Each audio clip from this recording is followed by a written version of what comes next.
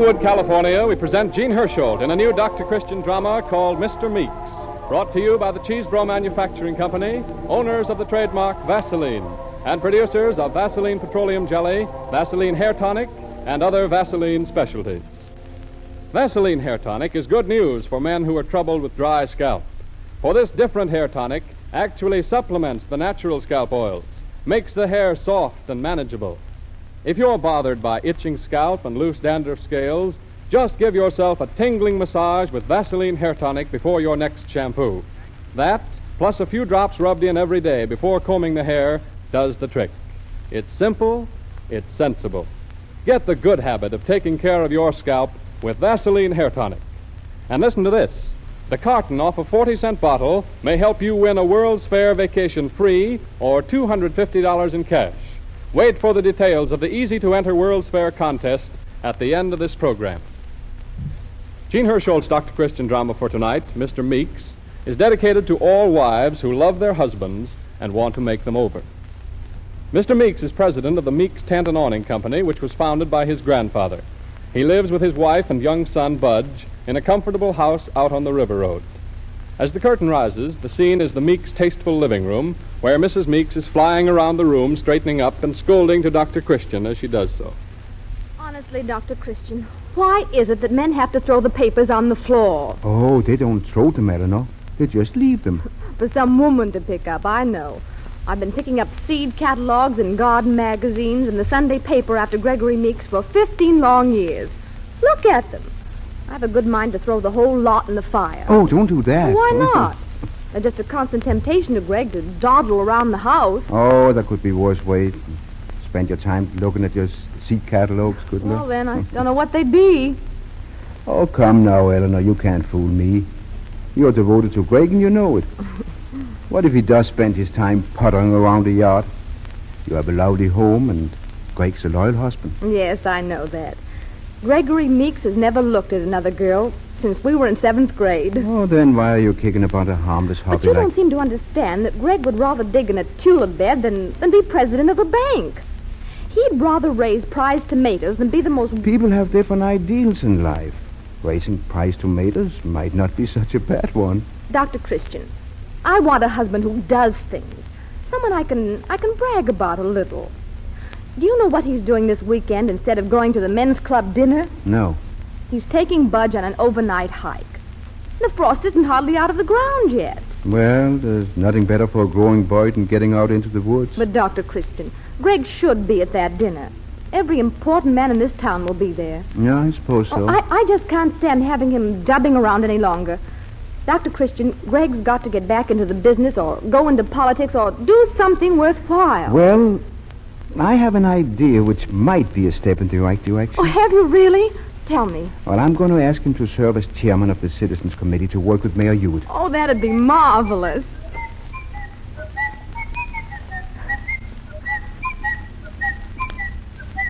Well, what's that? Greg and Budge. Didn't you ever hear them before? They do it all the time. You can hear them coming a mile away. Eleanor? Ellie? Oh, hey. Hello, Dr. Christian. Hello, Greg. Where'd you come from? Oh, I dropped in to see you for a moment. Hello, Butch. Now, what's that you got? Hello. That's a sun clock, Dr. Christian. It's a good one, too. Dad just made it. See, you set it up this way, and the shadow tells what time it is. We're going to take it along on the hike, so if we want to know what time it is, we can just set it up in the sun. Well, wouldn't it be oh. easier to carry a watch? A watch? What do you want no watch for? Your mother's too efficient to bother with a sun clock, I'm afraid. I hear you're scorning the men's club dinner for a camping trip. Yes, I'd promised the boy. Greg, you know you could take him some other time just as well. Probably, but tonight was the night I said I'd do it, and it would take something more than a men's club dinner to make me disappointed. I'll go and see about the blanket roll in the canteen, Dad. I got the blankets out of the cedar chest, and we'll need a frying pan. Budge Meeks, which blankets are you using? Now let me see them before you start doing any rolling. And don't take that good frying pan. Well, hurry up, Mom. I've got an awful lot to do. You've got an awful lot to do. What about me? Oh, honestly, you and your father. Well, Dr. Christian, um, have a cigar? No, thanks, no. I I can't stay but a minute. I uh, I came over, Greg, to ask you to take the chairmanship of the new Citizens Committee. Take the chairmanship. Why, Dr. Christian, you know I don't go in for that sort of thing. Oh, it's time you did. We need you, Craig, and an interest like that would be good for you. I wouldn't even consider it. Oh, why not? You owe a duty to your town, Craig. I pay my taxes and vote at every election. Oh, but there's more to it than that, Craig. Oh, yes, I suppose so. But there are plenty of people who can do jobs like that, Dr. Christian. It just isn't in my line. Oh, you don't know until you've tried. No, thanks. You see, the business just about runs itself nowadays. That leaves me free to do the things I want to do. Play with my boy, build shacks, go camping, work in my garden. Yeah, sounds very pleasant, Greg. but... I know, I know. It doesn't seem important to you. Eleanor feels the same way about it. She's chock full of ambition, that woman. Well, then won't you try it for her sake? Sorry, Dr. Christian, but I just couldn't. Now, some folks are meant to do one thing in this world and some another. When I get my picture in the papers in this town, it won't be as a civic leader. It'll be for raising the biggest Ponderosa tomatoes in River County.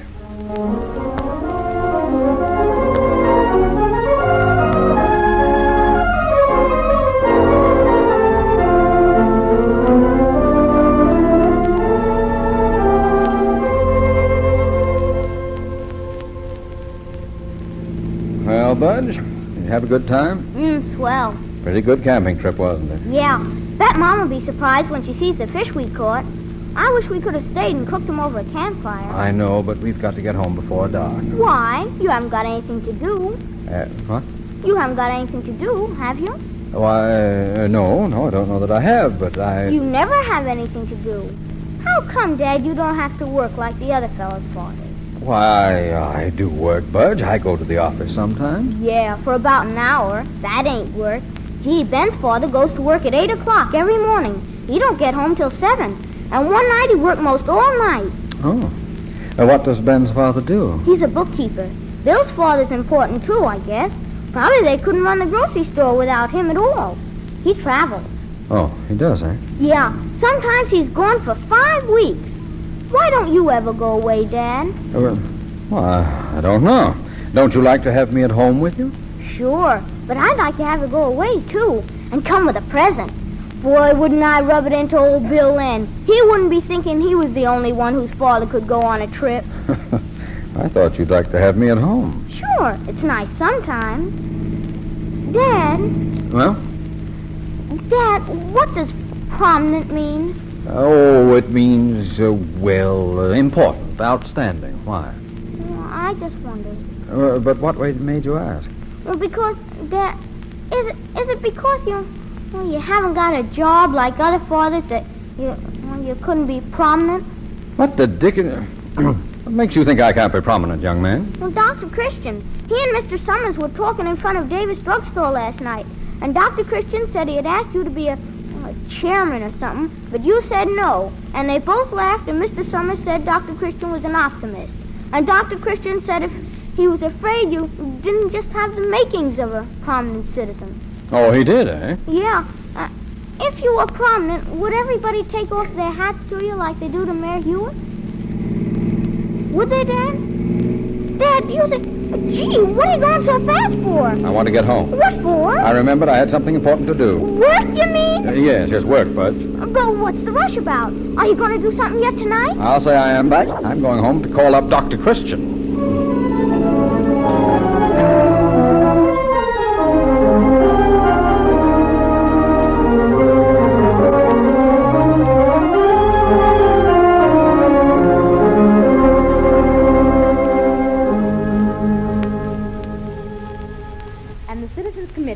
Decided to ask all the merchants on Main Street to use uniform signs. And we've already got out a petition to extend the paving on South Street. And there are the improvements to the park this summer. Oh, the committee is a great success, Mrs. Meeks. Why, Mayor Hewitt is delighted. and as chairman, Craig has become a leading citizen practically overnight. I persuaded him to go back into the business, too. Oh, you simply wouldn't know him, Dr. Christian. He's working so hard. He's often at the office until midnight. well, the Meeks Tent and Awning Company must be doing business. Oh, it is. Of course, Miss Handon, his secretary, is very efficient. But Greg's been letting things slide for so long, and there's lots for him to find out. I suppose so. Well, it's all worked out the way you wanted it to, hasn't it? Oh, it certainly has.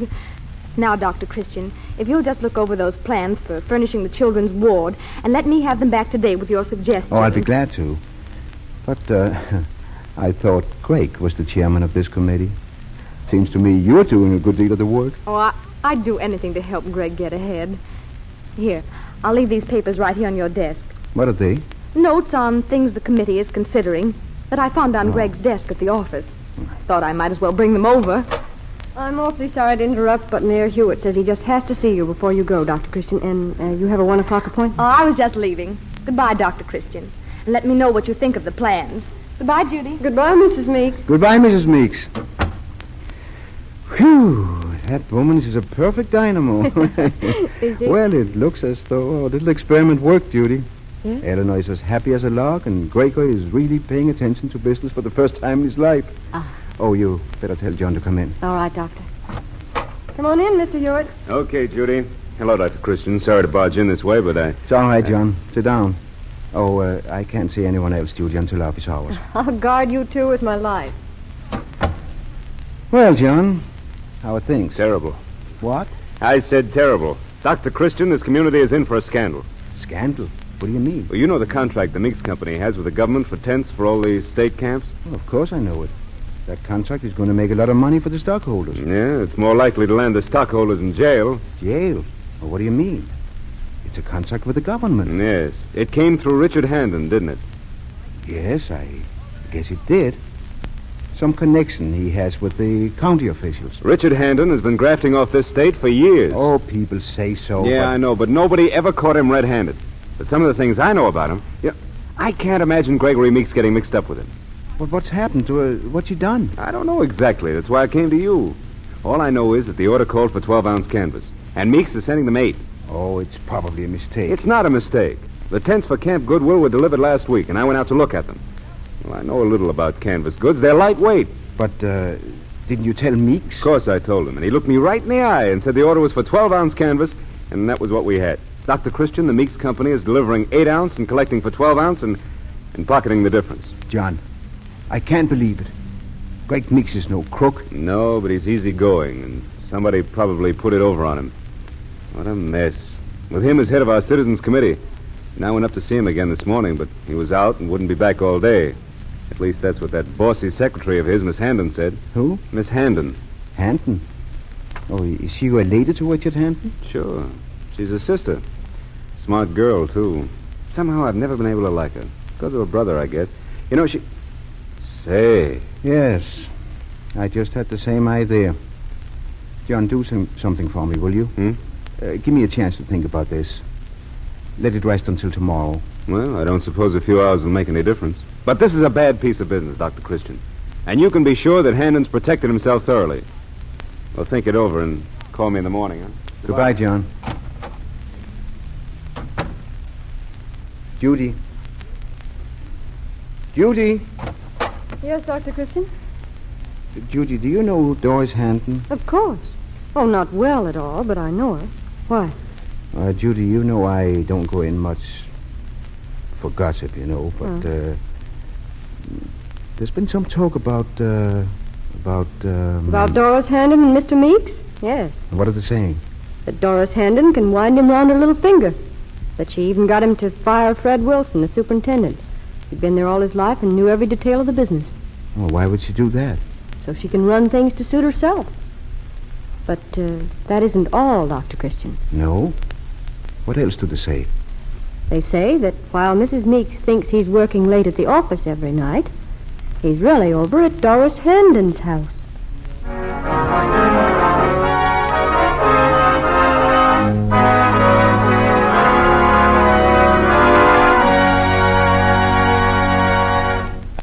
And the curtain is lowered on our Dr. Christian drama for a few seconds to denote the passing of time.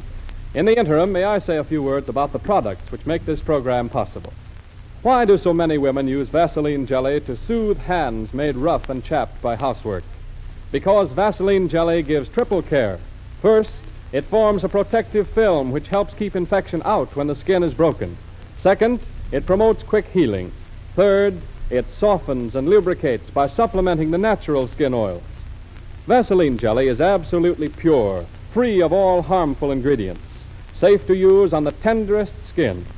Get a 10 cent jar or tube from your druggist tomorrow and save the carton. It may help you to win a free trip to the World's Fair or $250 in cash. Listen for the big news at the end of this program.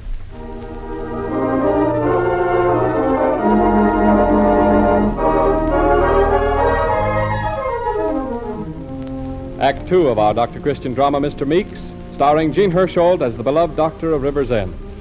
As the curtain rises, the scene is Mr. Meeks' office at the Awning Works, and his efficient secretary, Doris Handon, is just reaching for the telephone. Hello? This is Miss Handon. No, Mr. Meeks isn't here. No, I don't know. Yes, I'll tell him. Oh, Greg! Oh, you frightened me. I thought you weren't coming back today. Greg, what's the matter? What's happened? Doris, the shipments on the camp tents are all eight ounce canvas. Eight ounces? How did a mistake like that ever get by? Who sent the order to the factory? Why, it went the routine way. And Bates got the regular order slip? Why, why, of course. But who signed it? Why, didn't you? I never even saw it.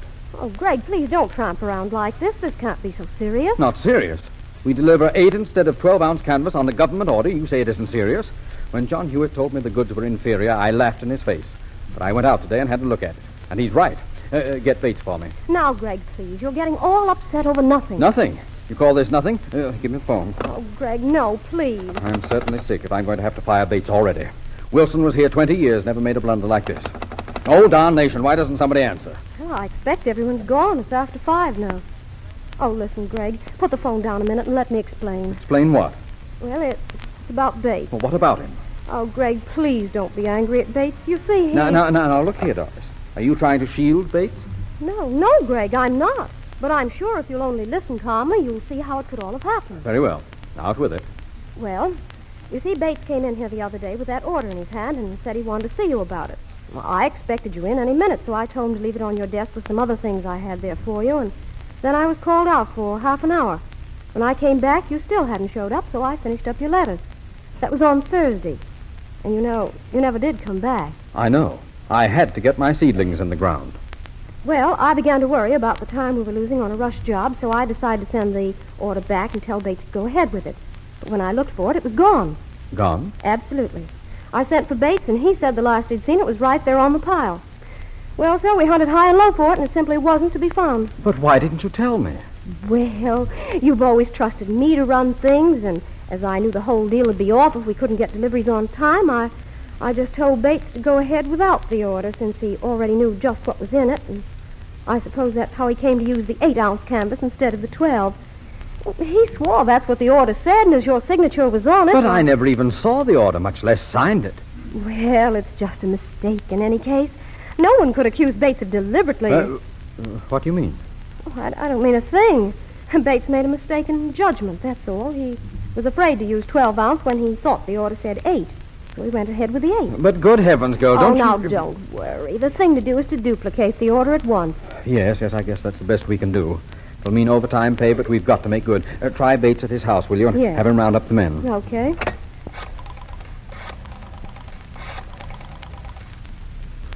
Hello? Hello, is Mr. Bates there? This is the plant calling. What? Oh, he has. When? Well, when do you expect him back? I see. No, no, the switchboard shut down. I'll call him. Is he out? Yes, he's gone up the river fishing.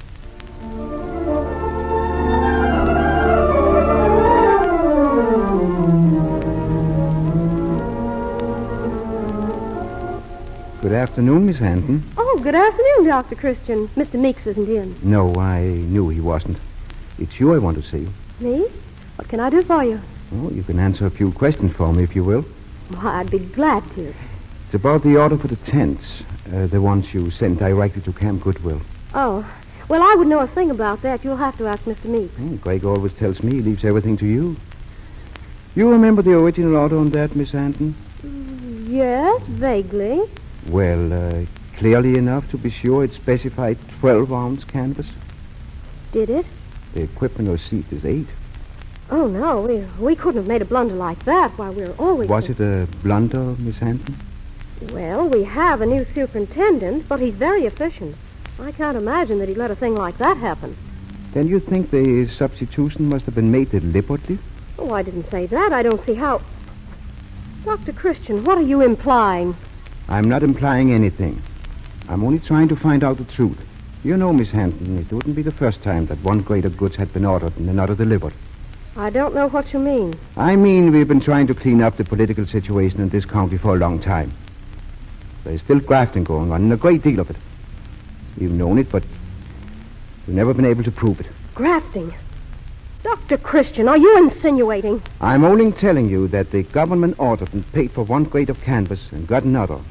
And the fact puts the Meeks Company in a very awkward position. Miss Hampton, wouldn't you like to give me your explanation of all this? Why, I haven't any. Well, wouldn't you be able to invent one, do you think, if I told you your brother had confessed? Confessed? He didn't. He wouldn't dare. What if he. I don't know what you mean, Dr. Christian. My brother hasn't anything to confess. Not even that for a long time he's been the go-between in buying inferior goods at high prices for the government and then splitting the difference with his confederates? Oh, Not even that it was his idea to deliver this lightweight canvas. And that because he knew Greg Mix was too honest to play, he got you in here as secretary so that you could change the orders? I didn't. I didn't. He did it himself. I never wrote a thing. Oh, then the forged signature on the factory order was your brother's and not yours, eh? Of course it was. I wouldn't do a thing like that. It was too risky. He made me come here, but I wasn't going to be the one to fake anybody's signature. All you were supposed to do was to destroy all the papers when the job was done. Your job was to win Greg Meek's friendship and keep him from becoming suspicious. If Gregory Meeks likes me, that's my business. Mm, I'm only wondering how well he'll like you when he hears the truth. The truth. Oh, Dr. Christian, do you mean he's going to find out? That everybody'll know? Yes, they probably will. Just as soon as I can turn this information you've given me over to the authority.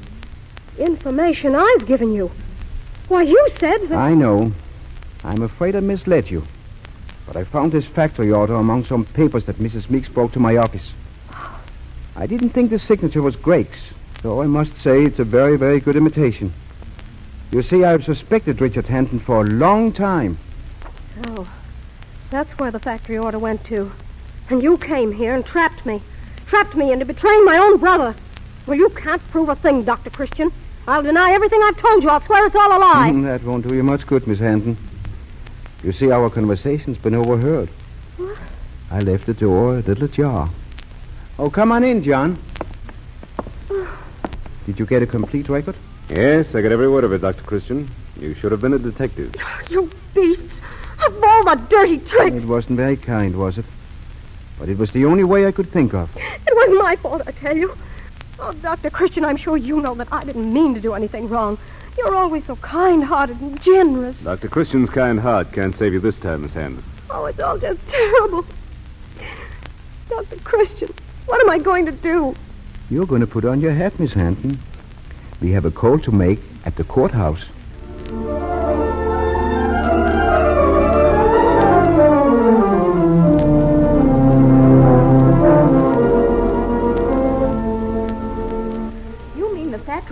Lost, and you don't even know who signed it? Well, Bates said it was my signature, but I'm sure I never saw the thing, Eleanor. You mean you never checked on the order at all? Well, I intended to, Oh. but I... Greg, Greg, how could a thing like this happen? With all the time you've been spending at the office lately. Why, uh, why... I don't know. You've been down there working, night after night for weeks. And you didn't even check on the most important order you have. Well, I... I Greg, people have been have been saying things to me lately.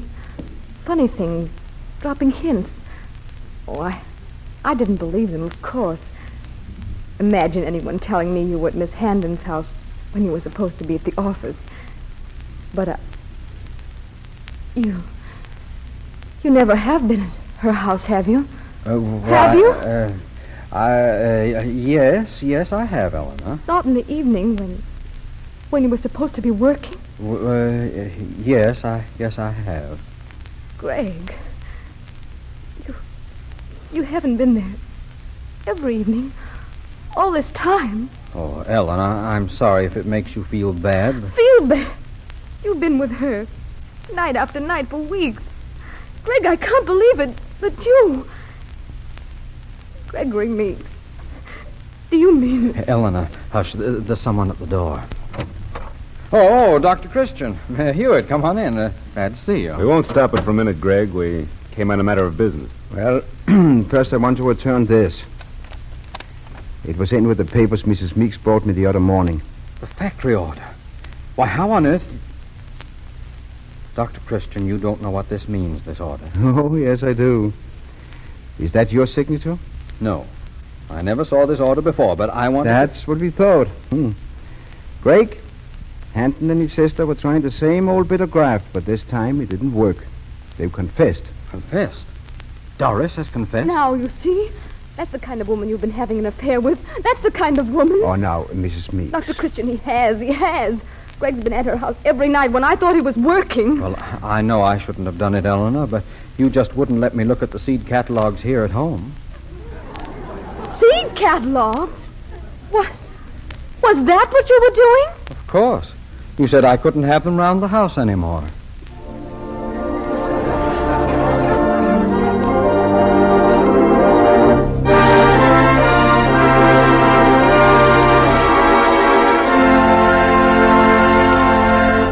You have been listening to Jean Hersholt's Dr. Christian drama, Mr. Meeks.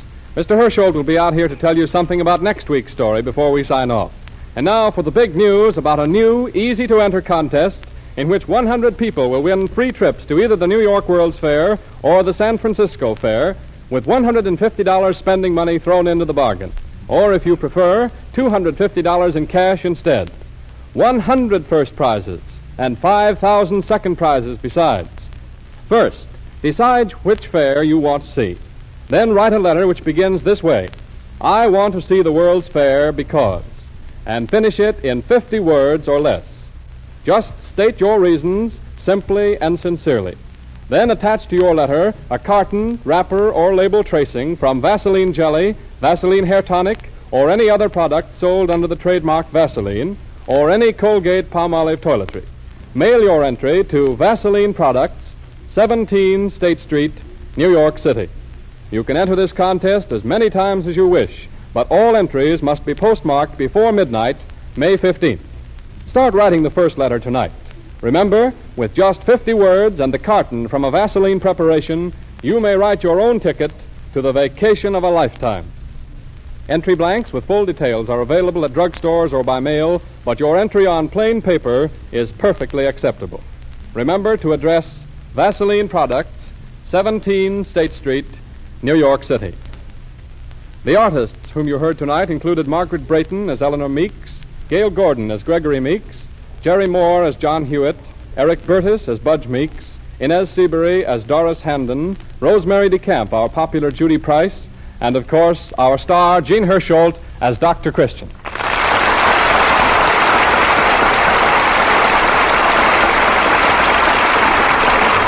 Dr. Christian, tell us something about next week's story. Well, you know, I've been noticing lately that Judy seems to have something on her mind. And I wouldn't be surprised if we find out next week just what it is. I'll tell you this much, though. The play is called Spring is Here. And so until next Tuesday at this same hour, I'll say good night. Don't fail to listen to Jean Hersholt's Dr. Christian drama next Tuesday at this same time. It is called Spring is Here. This is Arthur Gilmore bidding you good night. This is the Columbia Broadcasting System.